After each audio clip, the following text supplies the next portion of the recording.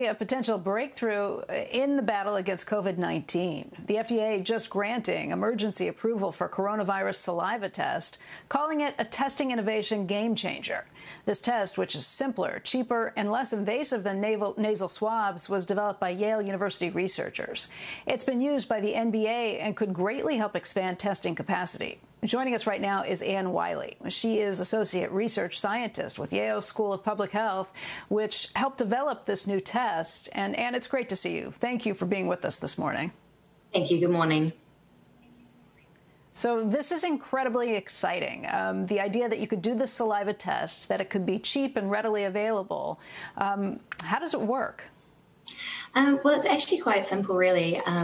It's as the name suggests, it, we are using saliva as the sample type, um, and so what we're trying to do is get away from that swab, that swab that can, you know, there's been quite a bit, bit of aversion to the swab type, and we're hoping to also get around supply chain issues that we've been seeing with those swabs, and we're also not looking for any fancy uh, collection devices to help keep our prices down. And so, what's actually also quite unique about it, unique about it, is that we haven't actually developed a test that we just package up and send out to you. So you can't actually just order one of these tests. But what we've um, what we've developed is the method for the test or the recipe, you could say, and we're able to share this test with other labs for them to get this method up and running in their local labs. Um, as for the test itself, we've actually just um, adapted the quite commonly used PCR test, which detects the virus RNA.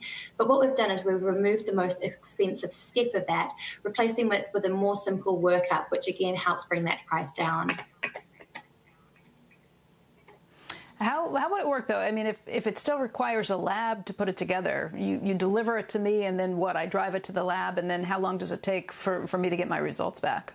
So indeed, much like you know what you're doing at the moment with a swab. So whether that swab is being ordered for you by a doctor, or whether you know what we're hoping to see is um, maybe in schools where you have like a little booth where you can drop off your saliva sample and have that taken to the lab. Um, so taking out that more sort of time consuming step, we are hoping that results will be available faster. You know, this isn't one of those rapid tests that people keep talking about, but, you know, we can get um, results sort of through in about three hours for about 92 samples. But of course, depending on the throughput that the lab is experiencing, you know, this isn't to say that results will be available in three hours, but just that it's a slightly faster protocol means that labs can put through more tests in a day. So we do hope that we can see maybe in some situations same day results. If not, what we're really striving for is to get below that 24 hour time point that we're just not seeing in many places at the moment.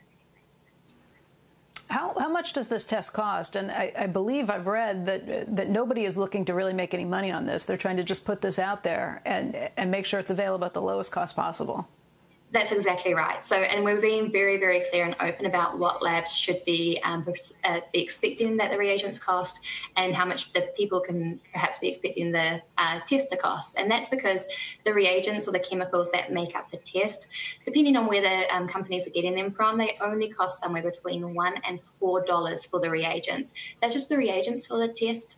We do know that there are some markups that are going to have to go onto there, such as you know to cover the logistics of getting the test, the personnel to run the tests, and also just you know they need to pay for the facilities that they're in to do those tests. But you know, it's that markup that we're still trying to limit that labs charge. So we do want this to be as cheap as possible for society, and we are wanting to be part of that conversation of um, how much labs are charging to try and just keep this down.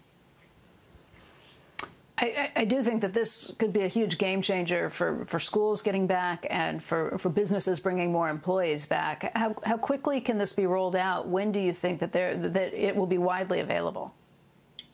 So, hopefully within the next couple of months. Um, I mean, what's happening at the moment is that uh, this can only still be run in the CLIA lab. So these CLIA labs have to get in touch with us. We do have to um, issue them the um, right to use this test and just to make sure that it's set up properly, to make sure that they've got the um, equipment that's available. So I'm hoping that we'll see, at least within the next month, um, you know, more and more labs starting to roll this out, starting to make it available, because clearly we do really desperately need more testing at the moment. What's the accuracy rate? So it's looking really good. So for uh, for any of the technical folks out there, we do have um, this test can detect about six to twelve copies, virus copies um, per microliter.